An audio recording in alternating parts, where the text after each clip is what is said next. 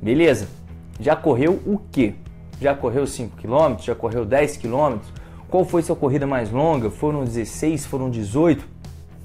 Ah, já corri 21 só que em treino. Ótimo, você já tem uma base para saber quanto você, o tempo que você consegue fazer esses 21 km, como que o seu corpo se comporta nesse tempo, nessa distância de 21 km.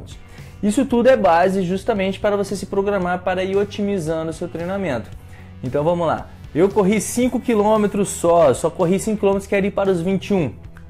Bem, você vai precisar de um tempo maior de programação para você ir ganhando justamente condicionamento físico, não só cardiovascular, mas também a questão de força no seu corpo para você se manter na posição correta, na técnica correta durante todo esse tempo. Querendo ou não, é quatro vezes mais, é quatro vezes mais o tempo que você está acostumado a fazer no seu, na sua prova, 5 km. Pode ter treinos que você pode ter corrido mais, então você tem um parâmetro maior também para um tempo a mais que seu corpo ficou. Isso tudo é interessante você ir armazenando esses dados e sabendo para você ir comparando. Ah, eu estou nos 5 km, quanto tempo eu vou demorar para chegar nos 21? Não tem uma fórmula mágica que eu vou te falar, você vai demorar 18 semanas para você chegar nos seus 21. Por que, que não tem uma fórmula mágica? Porque depende de como você quer chegar nesses 21. Que tempo você quer fazer nesses 21? De que maneira você quer cruzar aquela linha de chegada? É lambendo o asfalto? É correndo o tempo inteiro? É mancando? É rolando? então tudo vai depender. Eu não tenho como falar 18 semanas que você vai fazer e pronto. Porque também vai depender do seu tempo disponível que você tem para treinar, do, do justamente da, da, disponibilidade, não só do tempo para treinar, mas também para descansar, para você se alimentar bem. Então isso tudo envolve no planejamento de uma meia maratona. Você tem que saber sempre como que você vai dosar essas coisas, né? A questão do, do volume, da intensidade, quando que você vai aplicar.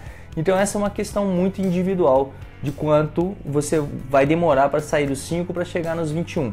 Existe uma recomendação que basicamente que é a base normalmente da periodização de treinamento, que é não passar a exceder 10% do volume de treinamento a cada semana, para você ir com saúde e crescendo esse volume, certo?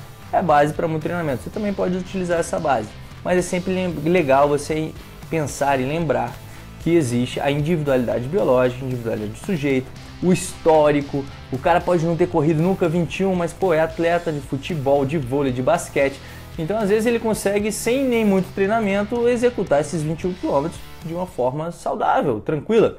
Então, vamos lá. Quando você vai iniciar o treinamento para uma maratona, uma meia maratona, você tem que saber onde você quer chegar, como você quer completar esses 21, onde você está, o que você consegue fazer hoje.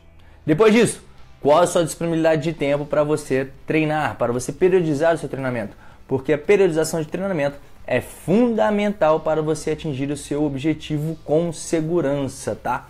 Lembrando que atleta lesionado não corre, então fica cada vez mais difícil de você atingir esse objetivo se você não estiver treinando.